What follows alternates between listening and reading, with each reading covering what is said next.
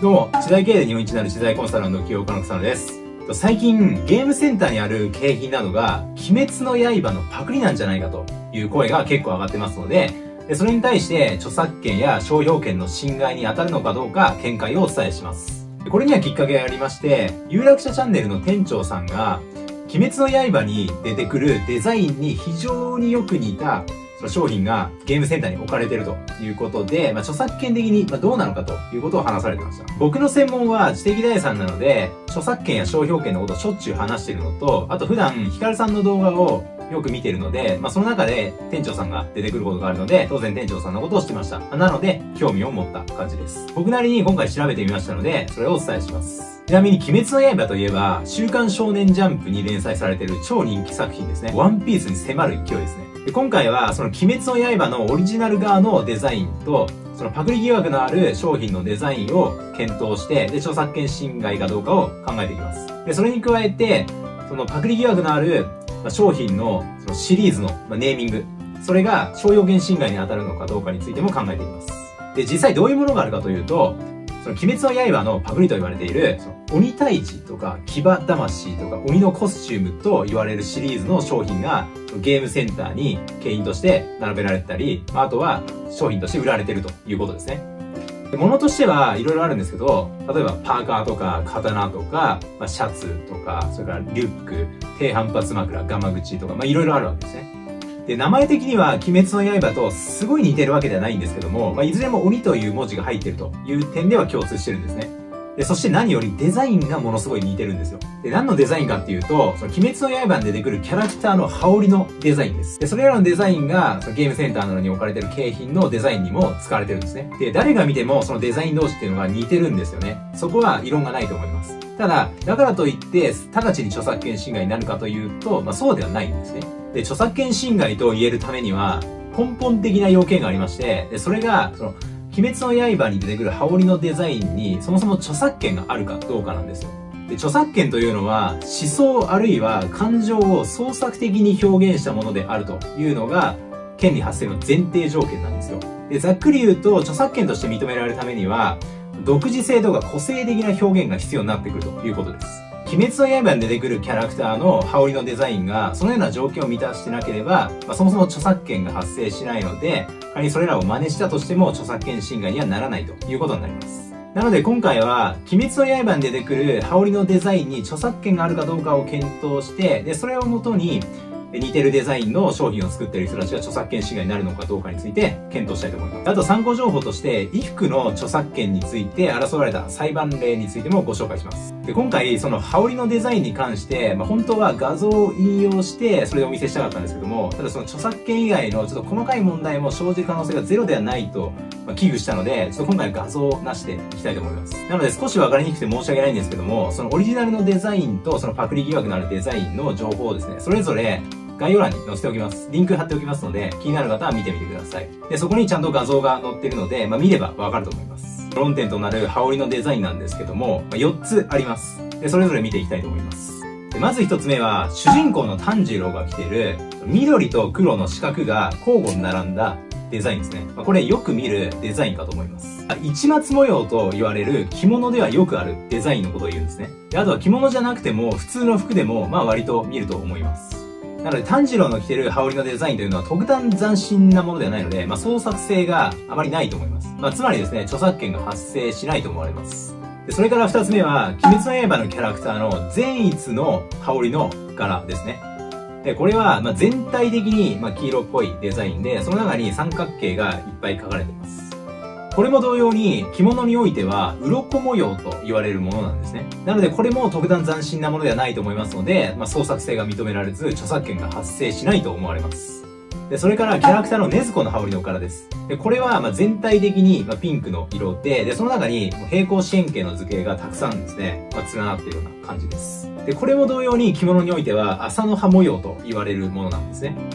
なので、まあ、特段斬新なものではなくて、まあ、創作性が認められず、著作権は発生しないと思われます。ということで3つ言いましたが、あともう1つ残ってます。で、それが、キャラクターの富岡義勇の羽織のデザインですね。これ結構特徴的で、その羽織の左右のデザインが分かれてるんですよね。なんかハーフハーフみたいな感じです。で、そのように左右のデザインが違うものを片身代わりと言います。で富岡義勇の羽織は、片方が紫っぽい色の無地で、もう片方が亀甲柄というものになってます。これらの片身代わりや亀甲柄のデザインは、まあ、元々あるものなので、それ自体は特に創作性がないと思います。ただ、亀甲柄の具体的なデザインに関しては、なんか世の中にあるものではなくて、まあ、どうも作者の方のオリジナルなようですね。なので、この亀甲柄のデザインに注目してみます。で、この亀甲柄のデザインは、ベースとなる六角形がまずあって、で、その中に、なんか四角だったり、あと L 字のような形のものが、いろいろ点在してます。で、全体的には、まあ、色はですね、まあ、4色使ってると思います。なので、このようなデザインに著作権が認められるかが肝になってくると思います。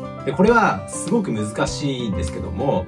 その、色の配色とか、あとは図形の組み合わせとかに、まあ、創作性があって、で、作者の個性が表現されているという見方は、ま、できると思います。で、逆に言えば、既存の形や色を組み合わせただけという見方もできちゃうと思うんですよね。ま、なので、正直、著作権がですね、認められるか微妙な気がしてます。で、ちなみに、過去の裁判例として、その衣服に著作権が発生するかどうか争われたものがありますので、それをご紹介します。まずは佐賀近代帯事件です。これは着物の帯に著作権が認められるかどうか争われたんですけども、ま、結果、これ著作権認められなかったんですね。で、画像はこちらです。これを見ると結構独自性があって、一見著作権が認められそうなんですけども、それ否定されてるんですよね。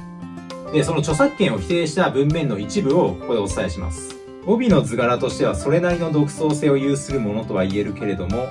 帯の図柄としての実用性の面を離れてもなお一つの完結した美術作品として美的鑑賞の対象となり得るほどのものとは認めがたい。とのことですね。まあ、つまりは著作物ではないと。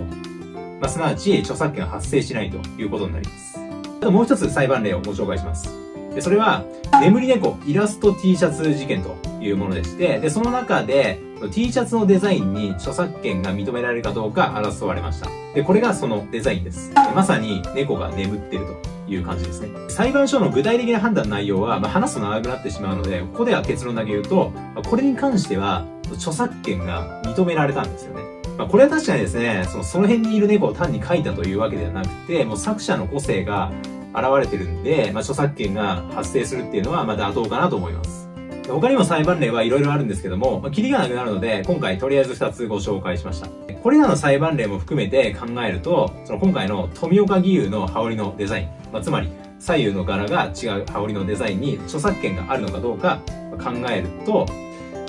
まあ、正直ですね、まあ、僕の考えでは、著作権が認められる可能性は低いんじゃないかなと思います。まあ、とはいえ、結構微妙なラインではあると思います。著作権の判断ってすごい難しいんですよ。まあ、著作権法上の規定はもちろんあるんですけども、ま、ただ、著作権侵害かどうかの、その、明確で客観的な判断基準っていうのがないんですね。まあ、それは著作権に限られない話なんですけど、なので、どうしても判断には主観が入ります。なので、僕の考えにも主観がある程度入ってます。でまあ、いろいろ踏まえると、まあ、微妙なんですけども、著作権侵害にならない可能性が高いんじゃないかなとは思ってます。でも中には、え、それパクリじゃん違法じゃないの？っていうふうに思う方もいらっしゃると思うんですけども、ただ少なくとも、直ちに著作権侵害だっていうふうに断言は誰もできないと思います。まあ僕ももどかしいです。で、続いては商標権に関してです。で今回はパクリ疑惑のある商品のシリーズのネーミング。え具体的には、鬼退治、騎馬魂、それから、え鬼のコスチューム。このあたりですね。で、まずですね、その鬼滅の刃のロゴマークがですね、商標登録されてます。画像こちらです。でちなみに商標権を持っているのは、えっと、集英社です。これは明らかに商標登録されたロゴマークと、あとその鬼退治とか、騎馬魂、鬼のコスチュームとは、読み方も見た目も違うので、まあ、商標権侵害にはまずならないと思います。まあ、もしこれが、鬼滅の刀とか、鬼滅の銃とか、そういうものだったら、商標権侵害になる可能性は、まあまああるとは思います。まあ、ただ今回はお互いに結構違うなという感じです。はい。ということで、商標権に関しては以上という感じです。まあ結構あっさり終わりました。ということで、今回パクリと言われているゲームセンターの景品などの商品は、言えたとしても著作権侵害ですが、まあ、実際のところ、ちょっと難しいかなというか、まあ、微妙な感じがしてます。人によってはこれ著作権侵害じゃんとか、まあ、逆にこんな全然著作権侵害じゃないよという人もいるかもしれません。まあ、そこは人によって、ま、判断が分かれてくるかなと思います。あと今回の件で僕が率直に思うのは、あ、違法にならないように、うまく手打ってるなというところです。類似品を出してる側もバカじゃなくて、まあ、明らかにその商標権、著作権のこと分かってるんですよね。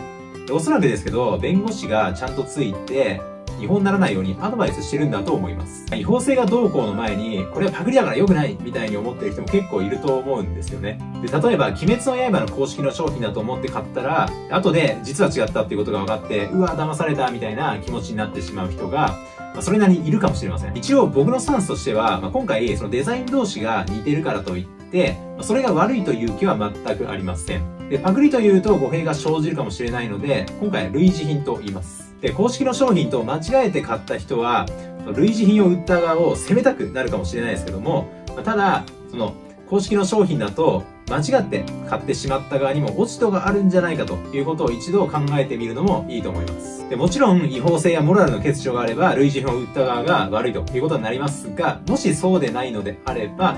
まあ、特段ですね、売った側が悪いということではないと思います。とはいえ、捉え方は人それぞれなので、パクリは最悪だみたいに思う方がいるのは仕方ないと思います。とりあえず今回の話を聞いていただいた方は、そのオリジナルと類似品をしっかり区別しましょうということと、著作権と商標権について少しでも認識していただけたらとても嬉しく思います。引き続き著作権や商標権を含めた知的財産に関する役立つ情報を発信していきますので、ご覧いただけたらとても嬉しく思います。過去動画もあるので、ぜひご覧ください。